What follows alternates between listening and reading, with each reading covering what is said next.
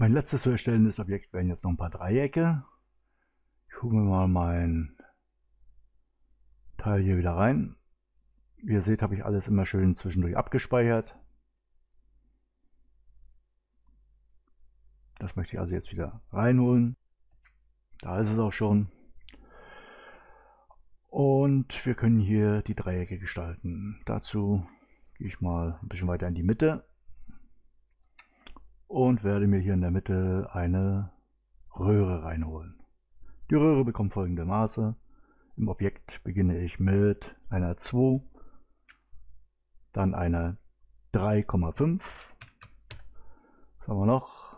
Das lasse ich erstmal. Jetzt eine 1 und die Höhe auf 2. Das lasse ich auf 1. Jetzt kommen wir zu dem, was ich gelassen habe, nämlich den Segmenterumfang. Den setze ich hier mal auf 3 und mache somit aus meiner Röhre ein Dreieck. Wir wollten ja Dreiecke machen. Des Weiteren in Koordinaten äh, PZ auf 0,7. 7. Es rutscht alles ein Stückchen hoch und im Winkel werde ich es noch ein bisschen verdrehen auf 30.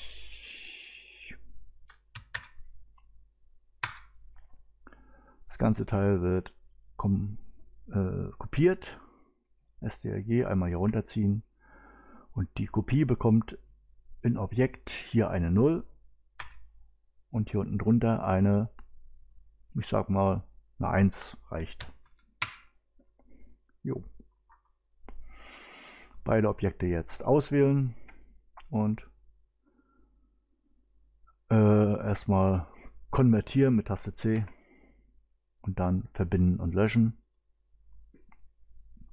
Jetzt muss ich den Winkel nochmal hier bearbeiten, die Achse nochmal bearbeiten. Ich komme hier mal auf Winkel. Die Achse muss bearbeitet werden.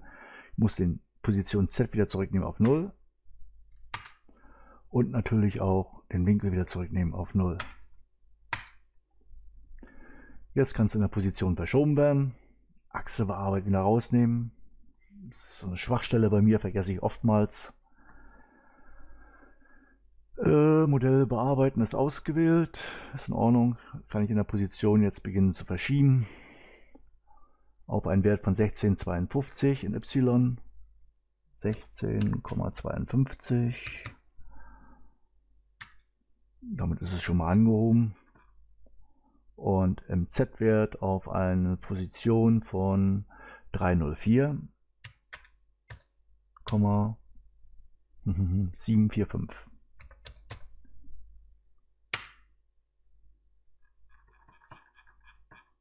und es ist hier irgendwo gelandet, nicht irgendwo, sondern da, wo ich es hinhaben möchte, genau da. Muss natürlich auch im Winkel noch bearbeitet werden, Winkel P bekommt bei mir eine 32,9. Jetzt liegt es so, wie ich es haben möchte. Ich hole mir wieder meine Achse bearbeiten, lege den Winkel erstmal auf 0 und dann auch die beiden Sachen auf 0. Alles ist auf 0. Die Achse bearbeiten, wieder rausnehmen. Und meine Röhre kann vervielfältigt werden. Das mache ich wieder mit meinem Werkzeug. Duplizieren. Da habe ich alles dann noch drinne. Na. Meine Röhre ist mir die Selektion abgehauen. So. Wie gesagt, da ist alles noch drin. Das ist das Schöne beim Duplizieren. Es bleibt immer alles erhalten. Ich brauche jetzt einfach bloß auf Zuweisen klicken. 18, Kreis und Ende 45. Jupp. Und schon sind meine Copies erstellt. Normalerweise den hier wieder mit reingelegt. Aber der wird sowieso gleich gelöscht. Also auswählen, was ich nicht brauche. Einmal den. Ja. Entfernen. Den entfernen. Den hier auswählen. Shift-Taste drücken und mal ein paar mehr auswählen. So, den hier auch gleich. Und entfernen. Überall da, wo die Zacken unten drunter sind, brauchen wir keine Dreiecke. Das heißt dann dieses auch nicht und dieses nicht und dieses nicht und auch entfernt. Hier haben wir noch jede Menge, die raus können. Das hier, das hier und das.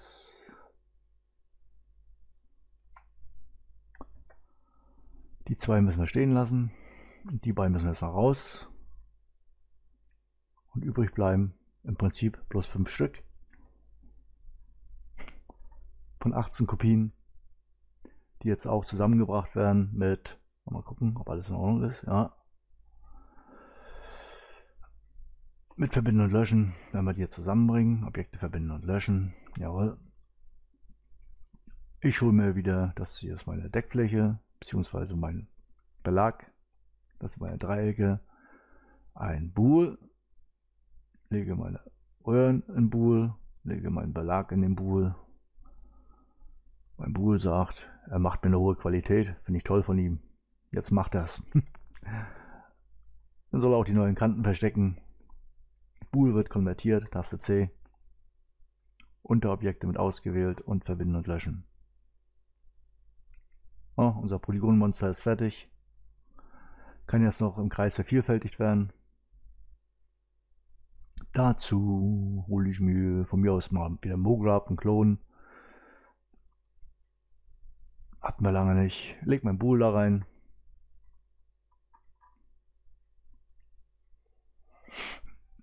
Und sage dem Klon, ich möchte das Ganze bitteschön radial klonen ich möchte eine Anzahl von 8.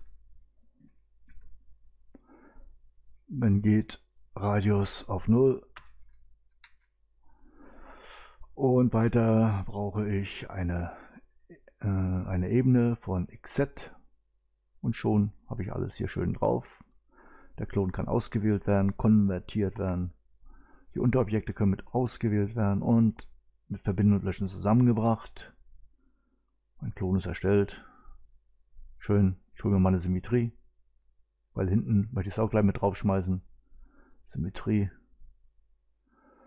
Sie bekommt eine Spiegelebene XZ. Den Klon da rein.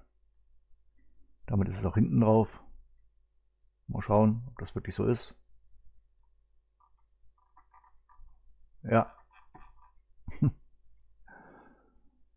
und meine Symmetrie wird konvertiert, Taste C, und Objekte mit. Ausgewählt, verbinden und löschen, alles zusammenbringen, Symmetrie in Innenring legen, dem Innenring und Symmetrie verbinden und löschen, Innenring umbenennen, in Innenring Punkt 1 umbenennen in Innenring, haben wir jetzt hier den Innenring, hier haben wir den Glüwenring und in meinem Nullobjekt liegt noch alles andere, was ich vorneweg gestaltet habe. Das hole ich mir jetzt mal raus. Das Nullobjekt hatten wir bloß zum Ausblenden vorhin äh, in den letzten Videos dann generiert. Ja, Nullobjekt brauchen wir nicht mehr. Jetzt haben wir hier alles, was wir erstellt haben und auch einzeln vorliegen ist für manch einen wichtig, wenn er texturieren möchte. Gerade hier wie bei dem Chevron, die Lampe unten drunter, wenn da jetzt noch eine Beleuchtung rein soll. Auch bei, bei der Lampe, bei der eigentlichen Lampe ist auch nochmal die Lampe und die Lampe hinten, ja, die werden ja getrennt. Also hinten tut sich nichts, wenn es vorne leuchtet. Deshalb muss man das auch getrennt texturieren können. Deswegen haben wir das gemacht hier. Zwei Objekte gelassen. Jo, damit ist mein Stargate vorne erstellt. Ich mache nochmal einen Testrender.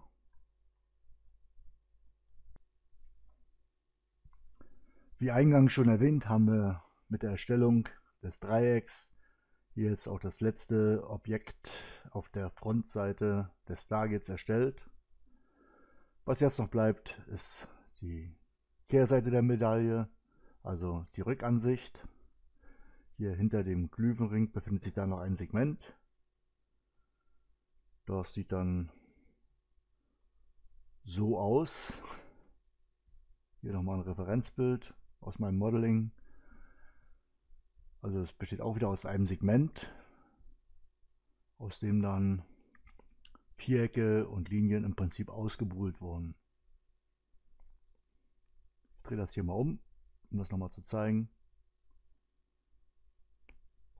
Also hier hinten kommt jetzt noch ein Deckring drauf oder ein Segmentering, wie ich mal bezeichnen möchte.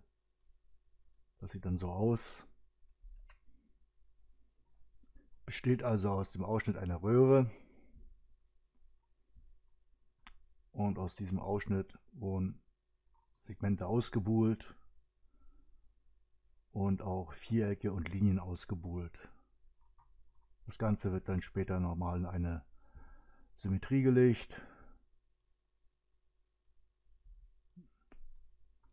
Und die Symmetrie dann in ein Array.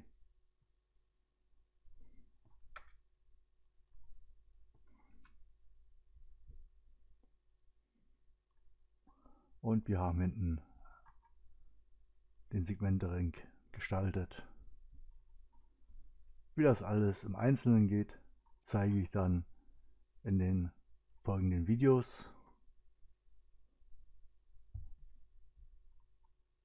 Ich mache hier auch mal einen kleinen, kleinen Render schon mal von weg, damit man sieht, wie das alles dann aussieht, wenn es fertig ist. Okay, wie gesagt, dem widmen wir uns dann in den nächsten Videos, den Segmentering.